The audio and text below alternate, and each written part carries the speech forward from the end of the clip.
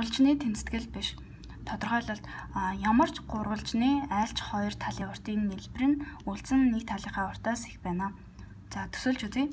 Хэрвээ бид нарт 3, 4, 5 гэсэн урттай ийм талууд өгөгдөөд энэ гурвалжин байж чадах уу гэсэн асуулт ялла гэж үтээ. Тэгвэл бид нар шалгахдаа 3 дээр нэмдэг нь 4 нь 5-аас их үү? 4 дээр нэмдэг нь 5 нь 3-аас их үү? 3 дээр нэмдэг нь 5 нь 4-өөс их үү гэж шалгана. Тэгэхээр энэ тохиолдолд бүгд биелж байгаа учраас тийм ээ нь бол гурвалжин байж чадна гэсэн. За одоо баталгаанд оръё. За биднэрт дуурын урттай A B C гэсэн энэ оройнуудтай гурвалж өглөө гэж үтээ. Тэгвэл оройнуудын эсрэг талуудыг жижиг үсгээр ABC гэж тэмдэглэе. За одоо бүгдээрээ BC гэсэн одоо энэ шулуунаас үргэлжлүүлээд нэг шулуун дээр орших D гэсэн цэгийг авъя. Тэгтээ D цэг нь болохоор хамгийн түрүүнд CD-гийн урт нь эндээ C-гээс D хүрэх энэ урт нь C-гээс A хүрэх урттай тэнцүү байхаар авъя. Тэгэхээр Энэ хоёр тэнцүү байхаар авъя. Тэгвэл CB-гийн урт CA-ийн урт нь B учраас CD-гийн урт бас B байх ёстой болно гэсэн Тэгэхээр CD-ийн урт нь CA-ийн урттай ижил байг. Ийм байхаар D цэг авлаа. За үүний дараа бид нар D болон A-ийг ингээд таслалтай шугамар холбоод төсөөлж харах юм бол аа бид адил хажууд гурвалжинтай болсон байгаа. Им хоёр ижил урттай талтай.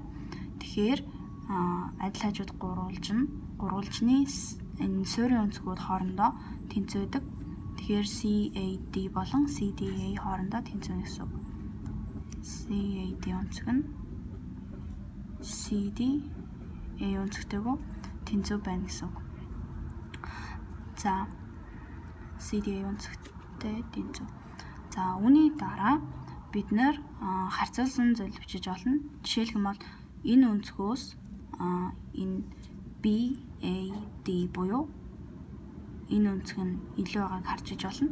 Тэгэхээр BAD гэдэг энэ өнцөг нь CAD буюу энэ өнцгөөс их байна. CAD гэдэг өнцөг маань өөрөө CDA гэсэн өнцөгтэй тэнцүү учраас Энэ нь бас CDA-ийн хувьд үнэн байна.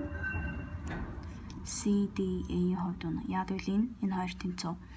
За энэ CDA гэдэг үнцэг өөрөө бас энэ BDA гээд энэ нэг үнцэг байгаа. Тэгэхээр бас адилхан BDA-ээсээ их гээд бичиж болно. За энэ дээс бид нар юу харж болох вэ гэхлээр хамгийн түрүүнд BAD гэдэг маань BAD гэдэг энэ том онцгийн эсрэг тал нь BC дээр нэгэн CD-ийн урт болж таарч байна. Тэгэхээр A энд байгаа, B энд байгаа. Тэгэхээр A дээр нэмдэг нь B гэсэн урт болно. За харин энэ нь юунаас их вэ гэхлээр BDA буюу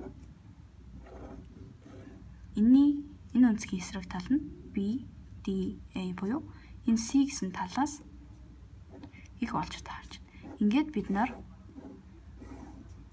баталж чадлаа.